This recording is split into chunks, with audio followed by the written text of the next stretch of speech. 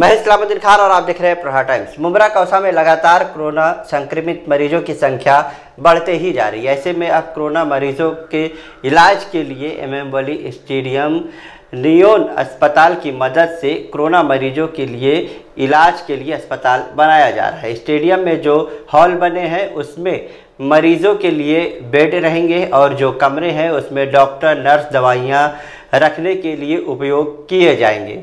आपको बता दें कि इसी तरह से मनपा का एक अस्पताल एम एम वली स्टेडियम से बिल्कुल लगकर आधा अधूरा बनकर खंडहर पड़ा हुआ है, लेकिन उसे इस्तेमाल में नहीं लिया जा रहा है। जिस तरह से मुमरा कौसा में संक्रमित मरीजों की संख्या बढ़ रही है, उसको देखते हुए कलवा मुमरा के आमदार कैबिनेट मंत्री जितेंद्र अवार्ड ने मनपा कमिश्नर विजय सिंघल से इस पर चर्चा की और स्टेडियम में ही एसिम्टोमेटिक पॉजिटिव मरीजों का इलाज किया जाएगा। एसिम्टोमेटिक पॉजिटिव मरीज़ वो होते हैं जो पॉजिटिव होने ते हुए भी उनके अंदर लक्षण दिखाई नहीं देते। हालाँकि स्टेडियम में 200 से 250 तक के बेड का अस्पताल, लेकिन इसमें सहयोग नियोन अस्पताल कर रहा है। ये जानकारी मनपा के डिप्टी कमिश्नर मनीष जोशी और मुमरा प्रभाग समिति के अध्यक्ष अश्विन राउत ने दी है। इस मौके पर मनपा के कार्यकारी अभियंता धनंजय गोसावी और नगर सेवक शानू पठान, ज़फ़र नुमानी, रेहान पीतलवाला, राजू अंसारी और ऐसे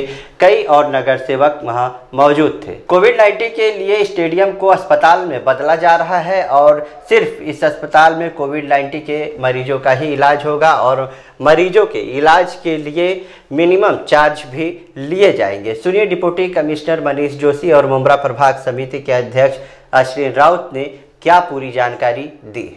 जनरली आजकल जो कोविड 19 पॉजिटिव पेशेंट्स जो निकल रहे हैं, उसमें एटलीस्ट 40 टू 50 परसेंट जो पेशेंट हैं, वो एसिम्टोमेटिक हैं। इसका मतलब पॉजिटिव हैं, लेकिन वो सिम्टम्स दिखा नहीं रहे।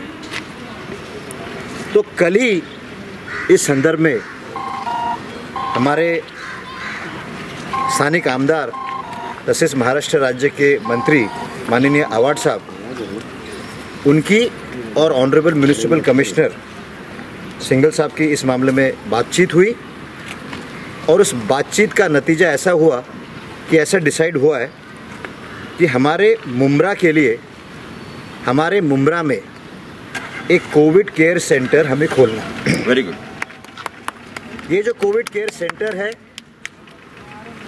it will be a 250 bedded covid care centre. और ये जो सेंटर है पॉजिटिव पेशेंट्स जो कि एसिम्टोमेटिक जो सिम्टम्स दिखा नहीं रहे। इसीलिए आज मुमरा प्रभाग समिति की हमारी अध्यक्षा राउत मैडम सीनियर नगर सेवक शानू, जफ़र भाई, राजू अंसारी हमारे दोस्त और शमीम भाई जिन्होंने इस पूरे हॉस्पिटल के लिए काफ़ी पाठपुरावा किया, वो यहाँ आए हुए हैं। और आज प्रशासन की तरफ़ से मैं ऐसे चाहूँगा कि इसकी जो घोषणा है, वो हमारे मुमरा प्रभाग समिति की अध्यक्ष राउत मैडम, वो करें तो ठीक रहेगा। उसके पहले मैं आपको ये बताना चाहता हूँ कि माननीय मंत्री महोदय के इंटरवेंशन की वजह से ये जो कोविड केयर सेंटर है, ये पूरा तो टीएमसी खड़ा करेगी। इसमें सारी सुविधाएँ टीएमसी देगी। लेकिन इस कोविड केयर सेंटर का जो ऑपरेशनल पार्ट है, वो नियॉन हॉस्पिटल कर रहा है। Again we should thank honourable minister for this Neon hospital ये फ्री ऑफ़ कॉस्ट करेगा ये काम। It's an excellent example of public private partnership और ये covid care centre minimum rates पे हमारे मुमरा वासियों को उपलब्ध होगा। एंड आई जब मैं मिनिमम बोलता हूँ तो दिल भी रियली मिनिमम तो मैं चाहूँगा कि हमारी अध्यक्षा मैडम इस चीज़ की फाइनल घोषणा कर दें। आज मैं आप सभी लोगों के माध्यम से मुमरा वासियों से कहना चाहती हूँ मुमरा दिवा सभी लोगों से कहना चाहती हूँ कि सबसे पहले तो हम लोग जितेंद्र आवाड़ साहब का तय दिल से शुक्रिया अदा करते हैं। क्योंकि उन्होंने इतनी बीमारी के हालत में भी आज उन्हें मतलब थोड़ा अल्हम्दुलिल्लाह ज़रा आराम लगा है तो इतना होने के बावजूद भी वो आज हमारी फ़िक्र कर रहे हैं और सभी नगर सेवक हम एक साथ जो है उनके पास गए थे और उनसे फ़ोन पे बात भी की हमने। उसके बाद में उन्होंने कमिश्नर से बात करके, खास करके मुमरा में जो कालसेकर हॉस्पिटल है, यहाँ पे जो है लोग उसको अफोर्ड नहीं कर पा रहे। मुमरा में ही क्यों? तो थाना में भी लोग जब जाते हैं तो प्राइवेट हॉस्पिटल जो है वो अफोर्ड नहीं कर पाते हैं और सिविल में जो है उनके पास वहाँ पे बेड ही नहीं है। तो ऐसे हालात में जो है पेशेंट को काफ़ी दिक्कतें होने लगी थी।